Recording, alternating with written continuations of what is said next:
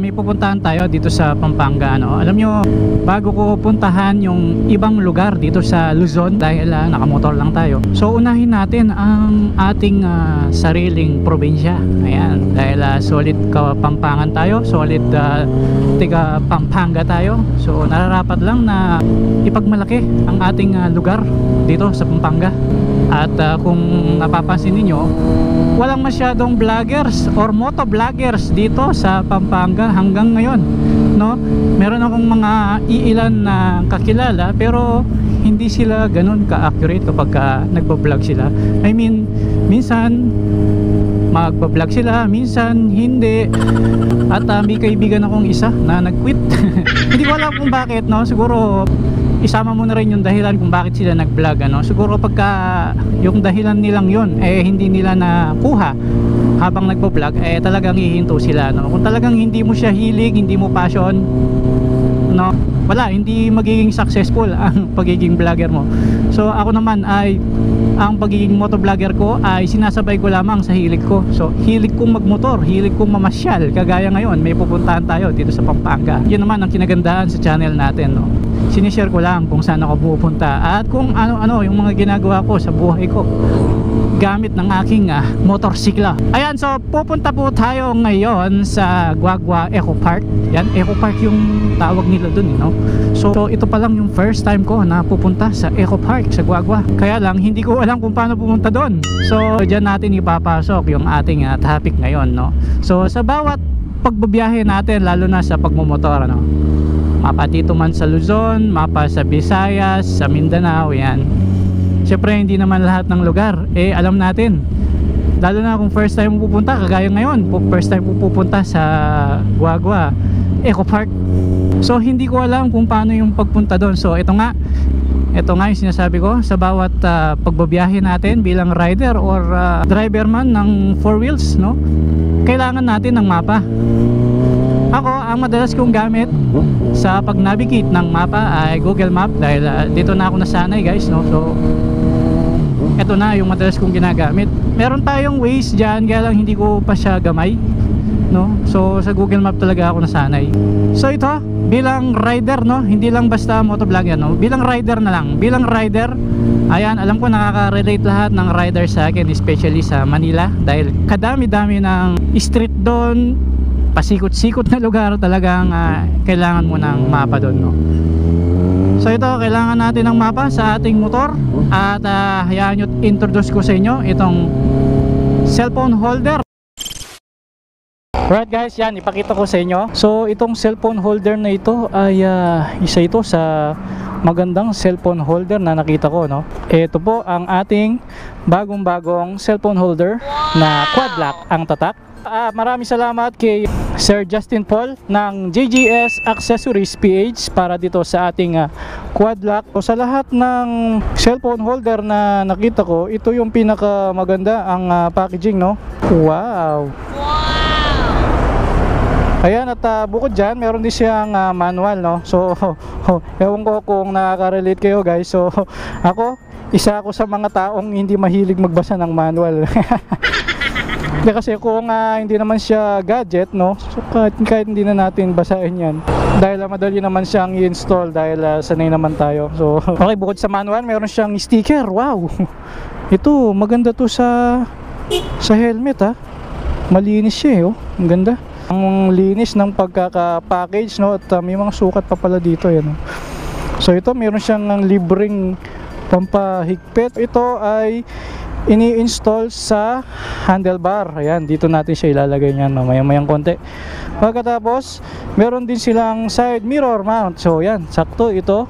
Pwede rin siya dito lalo na kapag bilog yung yung side mirror, no? Side mirror stem ito.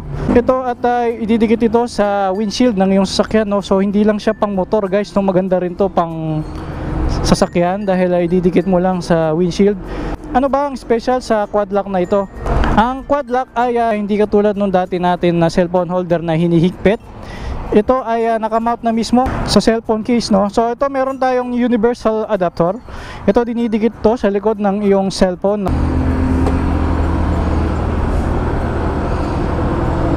Yan so ito yung ididikit natin sa phone sa likod ng phone. Dapat pantay. Yan and then okay na. Ang paglalagay nito is pa-side muna no pag ganyan. Then yun. Ganun lang siya kabilis. Ano pangalan mo sir? JR po. Sir JR ah, thank you ah thank you. Anong pangalan mo sir? Gerald po. Sir Gerard thank you sir. Okay Idol. hello sir thank you thank you thank you anong pangalan mo sir? Del Guevara, sir. alright ganda ng helmet natin sir ah. Oh, sticker mo sir. Thank you ha. Thank you. Sige, sige. Thank you sir. Ingat, ingat. Thank you.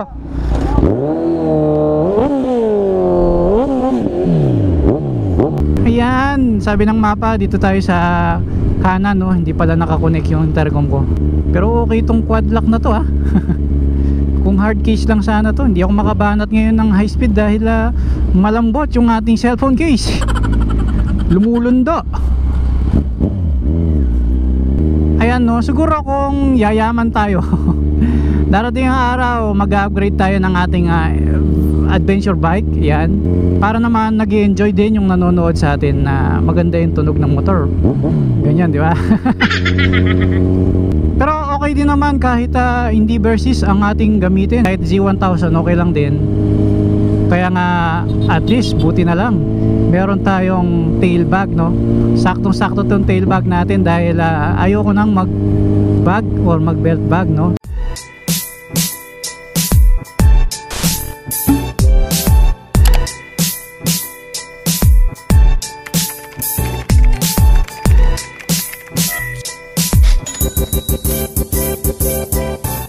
ha? Nangangati yung ilong ko. Sandali, kinamot ko muna dito.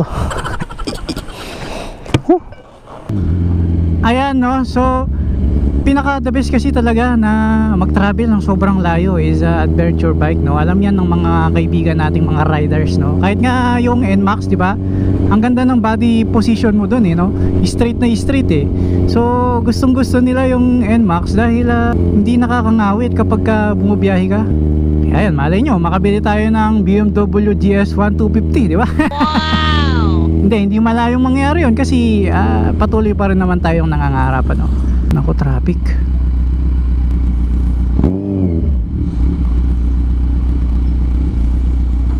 Ayan sa mga naunang subscriber natin no, alam nila na dati is ah, pinili ko is backbag no. Okay naman yung backbag kaya lang kapag ka nagtagal guys, mainit na sa likod at ah, nakakangawit kasi syempre yung bigat nasa balikat so hindi siya advisable din na isuot kapag uh, magra-ride ka lalo't kung malayo no? Ang pangalawa naman is belt bag. Yan naalala nyo yung Comini belt bag natin no? So okay naman siya. So hindi siya mainit sa likod. Walang ngawit sa balikat. Pero kapag ka uwi mo sa bahay no? Lalo na kapag ka, pagkatapos mo magmotor ng napakalayo pagubad mo ng pantalon mo may bakas. Yung yung tagiliran di ba? Yung balakang natin is buto lang di ba walang masyadong laman yan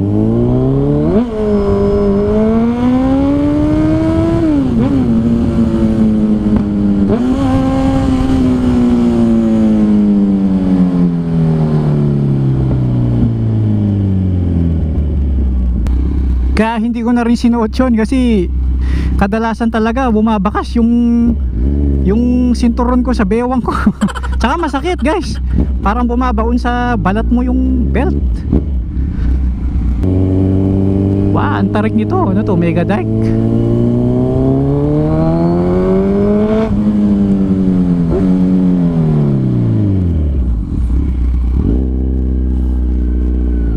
Wow, ang layo nito ah parang yung mega deck lang din sa Bacolor no? Sa tingin ko malapit na tayo guys sa Eco Park no? Ayan na tayo dagdag ko lang sa ating topic ngayon no? yung pagkakaroon ng bluetooth intercom na nakataas dito sa helmet mo. Uh, pinaka importante na dapat ay meron ang isang nagta-travel na rider. Dahil dito mo maririnig lahat no? Ng details sa phone mo. Music, FM tawag at text. Yung ringtone tutunog yan di ba? Maririnig mo sa iyong intercom at lalo kapag may tumawag sasagutin mo na mismo dito sa intercom mo habang nagta-travel ka. Pangalawa yung mga kasama mong riders nakakonect din sa'yo. So makakapag-usap-usap kayo maximum of 6 na rider. Tapos ang distansya nyo ah, kayang abutin hanggang 1 kilometer. Oh, malayo na yun ha so, malayo na yun. Halimbawa anim kayo siguro naman hindi nyo sasakupin yung isang kilometro sa hanggang sa pinakadulo di ba? Mukhang nandito na tayo sa Guagua Eco Park no? Ah, ngayon pa lang kasi ako pupunta dito eh. So tingnan natin no kung ano bang itsura niya. At ah, itong Eco Park na ito sa mga tiga Pampanga no? Ito yung madalas na pinupuntahan ng mga bikers mga nagbabike madalas sinapuntahan to dahil payapa no? Kung nakikita nyo walang mga sasakyan na nandito. At uh, yun nakita ko sa dalawang mata ko napakatahimik dito ngayon no? At uh, yun tignan natin kung anong meron dito. Oo. Ano? Meron dito yung nakalagay sa ano eh sa gilid Eco Park sabi niya Ah ito, ito na ang Eco Park. Wow. Tira, dito tayo sa malilim. Wow, ito pala yung Eco Park. Eco Park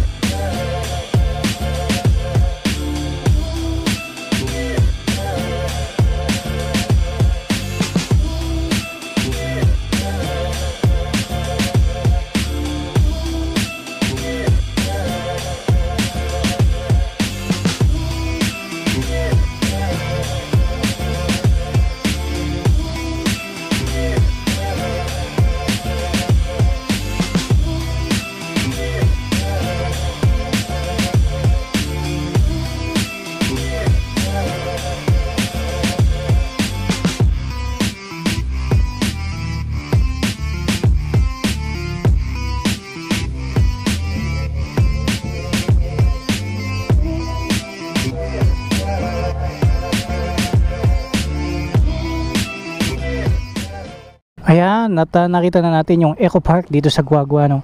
Matunog kasi itong Eco Park na to. Sa mga kasama ko nagra-ride no.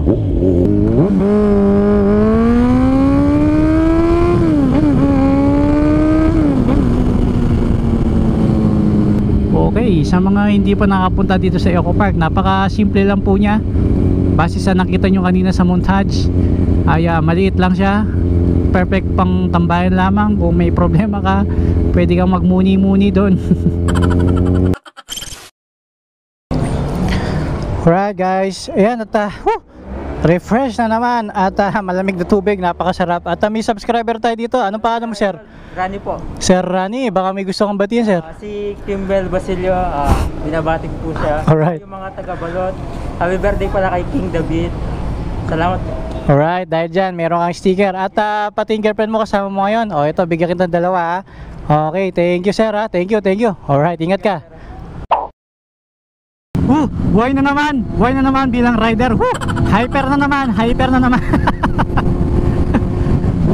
Ayan, ganyan lang talaga kapag ah, kulang sa tubig at napakalapot ng ating dugo kapag uh, nagkulangan tayo ng tubig ano kaya kapag ah, uminom ka na fresh ayan at ah, maraming salamat po at ah, sinamahan nyo ako tuklasin kung ano ba ang meron sa Eco Park din doon sa Guagua ano at ah, kahit ganung simpleng bagay lang eh sinasamahan nyo ako guys no?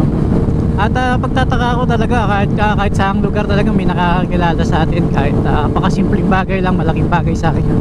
And I think kahit yung sticker na lang yun eh malaking bagay din sa kanya yun at ah, may didikit niya kahit sa ano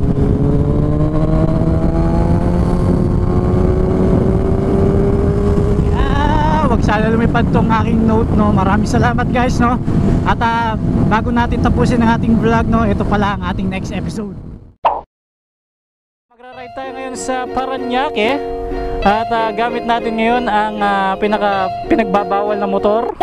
Ang Yamaha MT-09. Oh, yan. So, ito na yung entrance ng Skyway Stage 3. Ayan po. Ma'am, magkano kasi itong jacket niya, ma'am? For 150 sir. Anong tawag sa jacket? JW68 sir, but Kia brand.